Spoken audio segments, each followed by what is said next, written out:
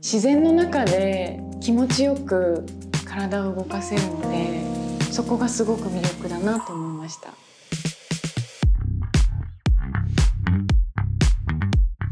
っぱりまあ着てみて、まあ、自分の好きなアイテムも取り入れつつ気分が上がるものですよね。そういうものを選びたいなと思ってます。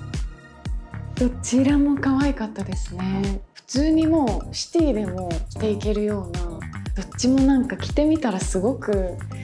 気分が上がりました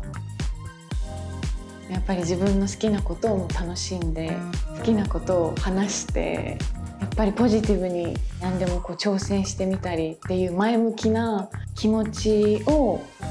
持ち続けたいなっていう思いではいますね。